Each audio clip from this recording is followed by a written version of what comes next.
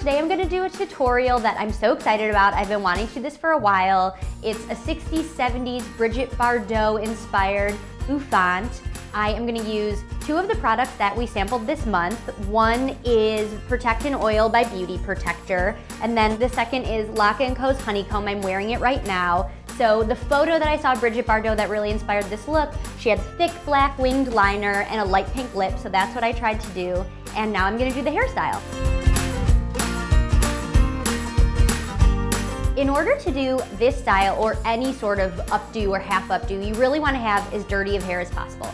So I think my hair is about two days dirty. Um, I curled it this morning with my InstaWave, so there's already some body in there. The first thing I'm gonna do is use Oribe's dry texturizing spray and spray this all over my hair because again, you really want that like texture and sort of dirtiness in your hair to make your style stay. So I'm just gonna put this really liberally everywhere.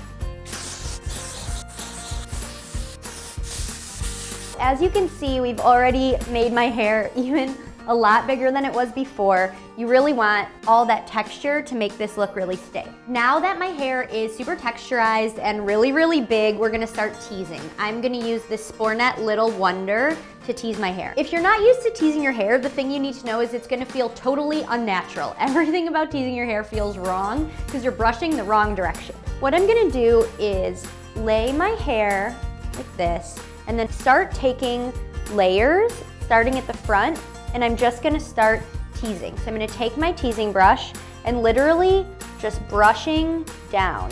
The more you tease, the better. And I know it looks messy, but just don't worry about it because we're gonna use that Beauty Protector Protect in Oil at the end to smooth it out. After you tease a section, just sort of lay it to the front and then take the section behind it and start teasing that until you've done maybe three or four layers. I'm gonna take another piece here, just comb it back, comb it back, comb it back.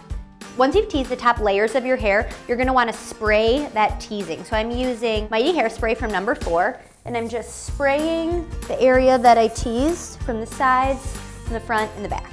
Now that I have a giant poof, I'm gonna find the very front section where my bangs would be, and I'm gonna sort of pin this out of the way for just a second. I'm gonna take these sides and try to sort of smooth them down while keeping them nice and big. So you definitely don't want to see the rattiness, but the idea is that it's supposed to be really, really nice and big. And as you're starting to lay this down, if you see areas that you think need a little more teasing, like I feel like I could use a little more in the back, you're just gonna find those sections, do a little more of a tease, and then try to lay them as smooth as you can, but we'll definitely do some more smoothing if we need to at the end. Then you're gonna take this front section like so, and you're gonna take some bobby pins and just pin it back. So I like to do it in a little bit of an X.